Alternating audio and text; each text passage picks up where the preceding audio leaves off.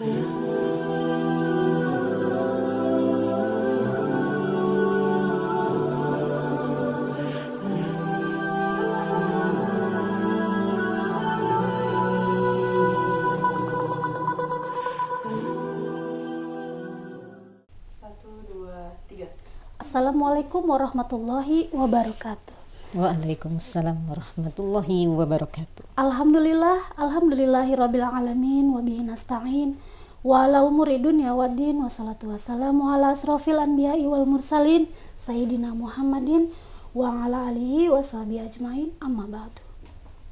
Puji serta syukur kehadirat Allah Subhanahu wa taala. Salawat serta salam kita limpahkan kepada baginda Nabi besar Nabi Muhammad sallallahu alaihi wasallam beserta keluarganya, sahabatnya, dan juga para pengikutnya.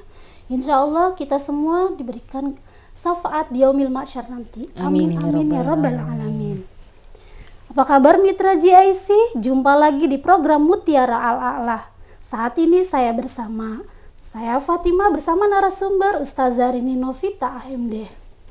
Dan alhamdulillah beliau sudah hadir bersama saya dan juga uh, kita narasumber kita sudah hadir dan beliau adalah alumni Tamhidul Mubaligoh dan juga memiliki bimbel permata.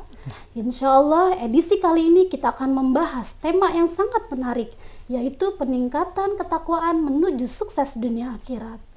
Alhamdulillah narasumber sudah hadir bersama saya. Langsung saja kita sapa narasumber kita Ustazah Rini Novita. Assalamualaikum Umi. Waalaikumsalam warahmatullahi wabarakatuh. Bagaimana kabarnya Umi? Alhamdulillah sehat walafiat. Gimana kabarnya dan juga kegiatan apa saja yang Umi lakukan saat ini? Iya, kegiatan yang dilakukan saat ini tetap aktivitas mengajar dan juga belajar. Alhamdulillah, baik Mitra GIC, kita lanjutkan pada tema kita hari ini, meningkatkan ke ketakwaan menuju sukses dunia akhirat. Kepada Ustazah Rini Novita, kita disilahkan. Terima kasih. Silahkan Umi. Terima kasih Umi Fatimah. Bismillahirrahmanirrahim. Rabbi surah li sadri wa yassir li amri wahlul udatan min lisani yafqahu qawli. Assalamualaikum warahmatullahi wabarakatuh. Waalaikumsalam warahmatullahi wabarakatuh. Alhamdulillah, alhamdulillahilladzi anzala sakinah fi qulubil mu'minin liyazdadu imanan ma'a imanihim. Allahumma sholli ala sayyidina Muhammad wa ala alihi wa ashabihi ajma'in. Ya Allah, jadikanlah pertemuan ini menjadi pintu pembuka rahmatmu. Amin. Dan jadikanlah siapa pun yang mendengar dan yang menyimaknya menjadi hamba yang engkau cintai. Amin. Amin ya robbal alamin. Mitra JSI yang dirahmati Allah di mana pun berada. Syukur Alhamdulillah selalu kita panjatkan kehadiran Allah subhanahu wa ta'ala yang tak pernah henti memberikan nikmat karunia-Nya kepada kita sehingga di hari yang indah ini kita bisa bertemu dalam acara Siar Mutiara Ala-Ala yang diselenggarakan langsung dari studio Jakarta Islamic Center. Salawat beriring salam, marilah kita persembahkan kepada insan mulia, tauladan sepanjang zaman, ialah Rasulullah Muhammad Sallallahu Alaihi Wasallam yang telah berjuang mempertaruhkan nyawa, berkorban untuk mensiarkan dakwah Islam sehingga kita bisa merasakan nikmatnya menjadi seorang muslim. Semoga kita bisa istiqomah mengikuti akhlak beliau sehingga kita kelak mendapatkan syafaatnya di yaumil akhir nanti. Mitra JAC yang dirahmati Allah. Bulan Ramadan yang penuh berkah, rahmat, dan makfirah itu telah berlalu meninggalkan kita. Satu bulan, satu bulan Allah mengundang kita menjadi tetamunya, bahkan dimuliakan olehnya. Sampai di bulan Ramadan itu nafas-nafas kita dihitung sebagai tasbih. Segala pahala-pahala dilipat gandakan. Dan bahkan tidurnya orang yang berpuasa pun demi ketaatan menjalankan ibadah dinilai sebagai pahala. Rasulullah bersabda, seandainya umatku tahu keistimewaan bulan Ramadan, pasti dia ingin satu tahun adalah Ramadan. Ramadan menjadikan seorang mukmin meningkat derajatnya menjadi seorang muttaqin. Menjadi orang yang bertakwa sesuai dengan tujuan Ramadan la'allakum tattaqun. Bagaimana seorang yang beriman bisa menjadi orang yang bertakwa? Tentunya dengan amal-amal soleh yang diberikan petunjuk oleh Allah atas keimanannya. Seperti dalam surat Yunus ayat 9. Bismillahirrahmanirrahim. Innalladzina amanu wa amilus solihat orang-orang yang beriman dan beramal soleh bi aidihim rabbuhum dia menerima petunjuk dari Allah bi imanihim atas keimanannya tajri min tatihal anharu fi jannatin na'im dan mereka kelak memperoleh surga yang mengalir sungai-sungai di bawahnya Allah menjanjikan bagi siapa saja orang yang berhasil melewati satu bulan Ramadan dengan sebaik-baiknya, maka akan bahagia, sukses hidupnya dunia akhirat. Amin. Bisa dikatakan Ramadan adalah jalan singkat kita menjadi ahli takwa. Bagaikan seekor ulat yang menjijikkan, ketika dia masuk ke dalam kepompong, dia akan bermetamorfosa. Setelah keluar, jadilah dia seperti kupu-kupu yang cantik dengan warna-warninya. Kita manusia, al-insan mahalul khoto wanishan, manusia tempatnya salah dan dosa. Berke, berproses di dalam kepompong yang bernama Ramadan dengan meningkatkan amal-amal solehnya. Ketika keluar dari Ramadan, jadilah kita seperti bayi suci yang tanpa dosa, bahkan dengan akhlak yang mulia dan pribadi yang lebih baik. Inilah hakikat kemenangan yang kita raih setelah Ramadan. Bunda, mitra, orang yang bahagia itu adalah orang yang sukses. Orang yang bahagia adalah orang yang bertakwa. Orang yang sukses pun orang yang bertakwa. Bagi orang yang bertakwa, hatinya akan selalu ajak, tenang, baik dalam keadaan senang maupun dalam keadaan susah, baik dalam keadaan sehat maupun dalam keadaan sakit. Kalau dia senang, dia sehat, dia akan banyak bersyukur. Karena dengan bersyukur, dia tahu itu anugerah dari Allah yang juga akan menambah nikmat. La in sakartum la azidannakum wa la in kafartum inna azabi lasyadid. Kalau engkau bersyukur, Allah akan tambah nikmat. Tapi kalau engkau kufur, rasakan azab azab Allah sangat pedih. Tapi kalau dia tertimpa musibah seandainya dia disakiti orang atau dia menderita kerugian ataupun ada sakit yang diderita dia kembalikan kepada Allah. Ma'asoba min musibah illa biiznillah. Segala musibah terjadi atas kehendak Allah. Siapa orang yang beriman maka Allah akan kasih petunjuk orang yang bertakwa akan menyerahkan segala urusannya cepat kembali kepada Allah karena keyakinannya dalam surat At-Talaq dikatakan, "Wa may yattaqillah yaj'al lahu makhraja."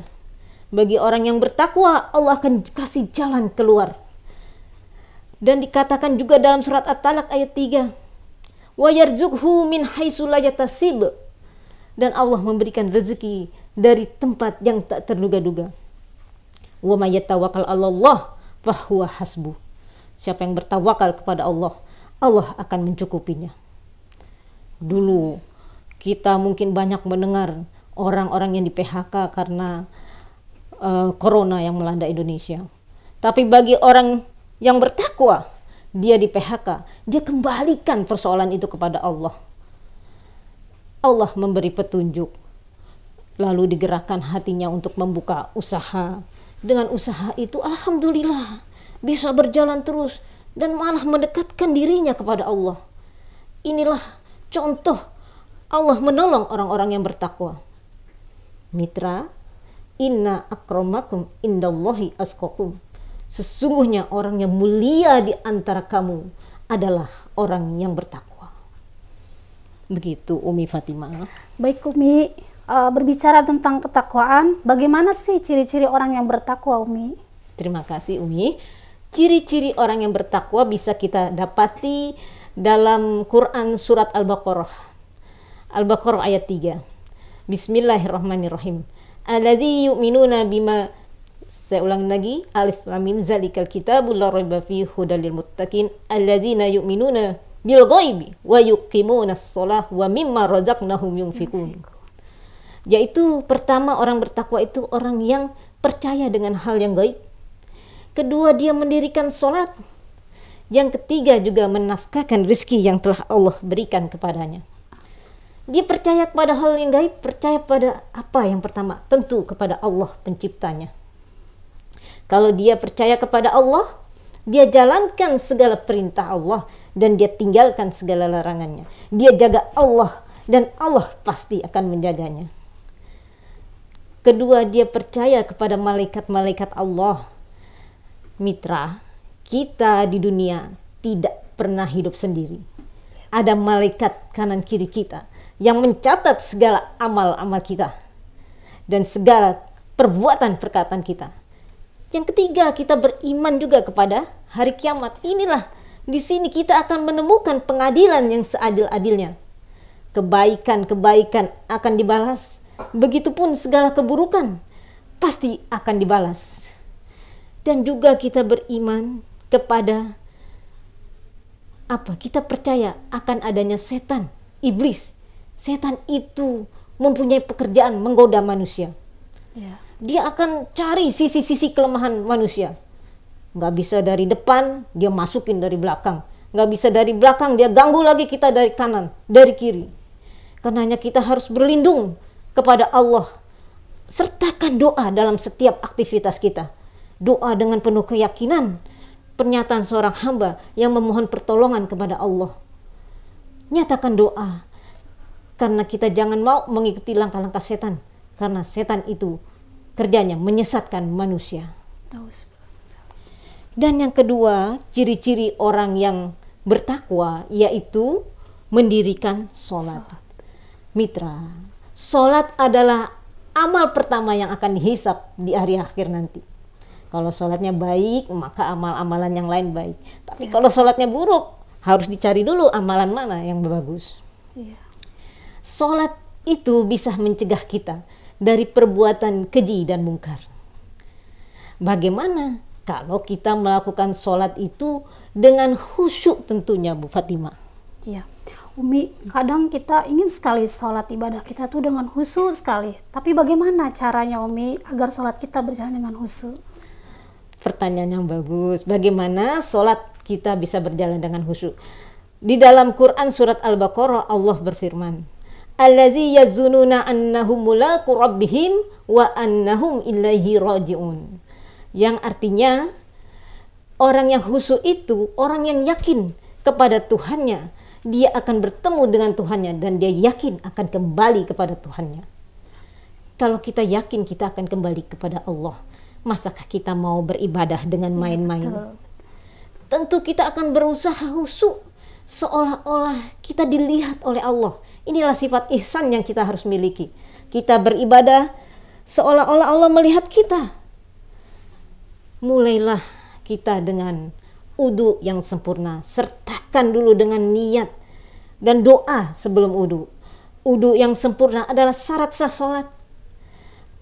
Udu itu bukan semata-mata untuk menghilangkan kotoran di dalam lahir, di dalam lahirnya saja, ya. tapi adalah menghilangkan kotoran di dalam batin nikmati setiap sentuhan air yang jatuh di huduk kita. Semisalnya ketika kita membasuh tangan kita. Bukan sekedar kotoran tangan yang kita bersihkan, tapi segala khilapan yang pernah dilakukan oleh tangan kita. Begitupun ketika kita kumur-kumur, bukan sekedar kotoran di mulut, tapi juga segala ucapan kita. Segala ucapan kita mungkin tanpa kita sadari, ucapan kita pernah menyakiti orang lain, tanpa kita sadari kita pernah ber, berucap kotor, menggunjing, menggibah. Ini sangat dosa yang sering banyak orang masuk neraka karena lisannya. Karena itu kita memohon kepada Allah agar lisan ini bersih. Begitupun di saat kita membasuh hidung kita. Kita berdoa agar Allah bisa memberikan kita bisa mencium wanginya surga. Amin ketika kita pun membasuh wajah kita di mata kita nih panca indera mata kita mungkin banyak dosa-dosa yang telah kita lakukan. Mungkin kita tak sadari, kita memandang remeh orang lain. Ah, cuman seorang pembantu, ah, cuman seorang bawahan kok. Padahal di mata Allah, mungkin mereka adalah kekasih-kasih Allah yang ya. taat ibadah. Allah tidak pernah melihat orang dari fisik, tidak pernah melihat orang dari harta, tapi yang dilihat oleh Allah dari hati dan amalnya. Ini Bunda Fatimah dan kita kalau sholat itu Bunda Fatimah kita kan nggak pernah tahu waktu kita sampai kapan dikasih batas waktu ini oleh Allah. Iya, betul. Maka kita harus jadikan mungkinlah mungkin juga ini sholat saya yang terakhir. Kalau kita berperasa ini sholat kita yang terakhir tentu kita akan memberikan yang terbaik. Tentu kita semua mau di akhir hayat kita bisa husnul khotimah. Amin. Bisa menghadap Allah dengan husnul khotimah. Inilah tujuan kesuksesan kita juga. Yang ketiga tadi, ciri-ciri orang yang apa bertakwa. Yaitu yang sebagian memberikan rezekinya kepada orang lain. Baik itu dalam bentuk harta, dalam bentuk tenaga, ataupun mungkin dalam bentuk yang termudah, yaitu senyum senyummu untuk saudaramu adalah sedekah. Kalau kita memberikan harta kita kepada orang lain, tentunya akan kembali kenikmatan itu kepada diri kita. Kenapa? Karena pasti orang lain itu bahagia, kita pun bahagia. Kedua, kalau kita memberikan harta kita, tanda syukur kita kepada Allah, pasti akan Allah tambah nikmatnya kepada kita. Amin. Dan bisa juga ketika kita bersedekah, kita menolak bala. Yang seharusnya hari itu ada kejadian bagi kita, tertolak karena sedekah kita. Jadi orang-orang yang bersedekah ini adalah salah satu ciri-ciri orang yang bertakwa. Begitu Bunda. Baik Umi, uh, selanjutnya apa saja kiat-kiat sholat dengan husu? Dan juga bagaimana cara kita menerapkan amal-amal uh, Ramadan di bulan sesudahnya? Hmm, tadi kalau sholat dengan husu, mungkin tadi udah kita bahas. Ya. Tapi menerapkan, menerapkan ya, amal-amal. ya, menerapkan amal-amal Ramadan. Pertama, Ramadan itu terkenal dengan syahrul Quran, bulan turunnya Al-Quran. Di Ramadan kita berlomba-lomba untuk menghatamkan Al-Quran. Terus dawamkan, langgengkan, teruskan di bulan-bulan berikutnya dan jangan cuma hanya membaca. Karena kita bukan orang yang langsung ngerti artinya. Mungkin kalau orang Arab membaca langsung ngerti artinya. paham. tapi kita harus baca juga artinya biar kita paham. Karena tujuan Al-Quran itu diturunkan agar kita bisa mengamalkannya. Nah itu jadi kita terus kita dawamkan. Yang kedua kita berpuasa di bulan Ramadan. Teruskan dengan berpuasa puasa sunnah ada puasa sunnah Senin Kamis, ada puasa sunnah juga tiga hari di pertengahan Hijriah. Kalau kita berpuasa Bunda, itu banyak sekali manfaatnya, terutama untuk kecerdasan spiritual kita. Manusia mempunyai tiga kecerdasan. Pertama, kecerdasan intelektual. Kalau bapak, ibu menerima rapot anak-anak, nilainya 8, 9, itulah kecerdasan intelektual yang mereka miliki. Kedua, kecerdasan emosional, kecerdasan mereka untuk menghadapi masalah seperti bully-bully yang di sekolah. Kalau mereka punya kecerdasan emosional mereka bisa mengatasinya. Dan yang paling penting itu juga kecerdasan spiritual. Lahir dari jiwa-jiwa yang bersih yang dekat dengan Allah. Ini kecerdasan spiritual ini akan meningkatkan kecerdasan intelektual dan juga kecerdasan emosional. Karena di dalam bulan Ramadan kita mensucikan jiwa. Bahagialah orang yang bisa mensucikan jiwanya dan merugi orang-orang yang gak pernah membersihkan jiwanya yang ketiga, selain kita baca Quran, kita uh, kita tadi apa? Uh, puasa Padat. dan sholat. Sholat di Ramadan kita banyak sekali sholat. Ada sholat sunnah rawatib kita lakukan, dia qobliyah. Teruskan, jangan dihentikan, teruskan. dia qobliyah kita lakukan. Dan jangan lupa sholat sunnah lail di tengah malam kita bangun. Inilah sholat-sholat yang mengangkat makam orang-orang mulia di hadapan Allah nanti. Dan sholat ini penerang cahaya kita di surga kelak. Di mana orang-orang tidur kita bangun karena kita ingin berhalawat kepada sang pencipta kita. Kita ingin bercurhat. Inilah waktu-waktu mustajab dikala orang-orang tidur kita terbangun. Ya kira-kira begitulah. Nanti mungkin bisa kesabaran. Kesabaran di bulan Ramadan kita terapkan lagi di bulan-bulan sesudahnya. Karena puasa itu bukan hanya mengendalikan makan dan minum, tapi juga kesabaran. Dan puasa itu fungsinya banyak sekali untuk kesehatan kita, di mana pencernaan kita beristirahat. Setelah itu metabolisme tubuh kita akan semakin sehat. Makanya puasa itu adalah sehat. Begitu kira-kira Bunda. Baik Umi, uh, kesimpulan apa saja yang kita bahas dari materi yang Umi sampaikan kali ini? Eh, sebelum kesimpulan mungkin ada yang ingin saya sampaikan dulu ya. Bagaimana kiat kita? Ya, ya kiat-kiat kita untuk meningkatkan ketakwaan kita. Pertama kiat kita adalah niat. Niat disertakan dengan doa. Ya Allah setelah Ramadan ini aku ingin menjadi hambamu yang lebih baik.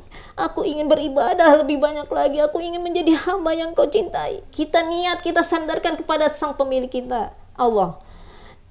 Allah itu senang kalau kita merengek kepadanya kalau hambaku datang kepadaku sejengkal, aku akan datang kepadanya sehasta. Kalau hambaku datang kepadaku sehasta, aku akan datang padanya sedepa.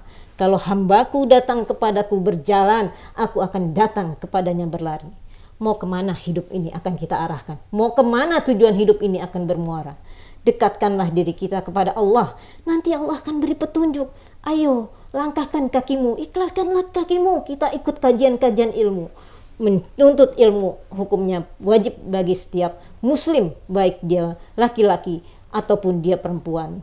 Menuntut ilmu kalau kita ingin bahagia dunia akhirat tuntutlah ilmu. Bahkan surat Al-Quran yang pertama kali turun adalah ikro artinya bacalah betapa pentingnya agama Islam menguatkan umatnya untuk cerdas. Cerdaslah kita dalam berpikir bahwa hidup kita bukan hanya untuk di dunia tapi untuk pemilik hidup kita berusahalah kita mengumpulkan amal-amal soleh yang akan kita bawa sebagai teman kita di kubur kita yang sepi, yang sunyi. Selain kita menuntut ilmu, kita juga tadi pertama selain menuntut ilmu juga kita mencari teman. Carilah teman yang mem dapat memberikan syafaatnya di yomil akhir nanti.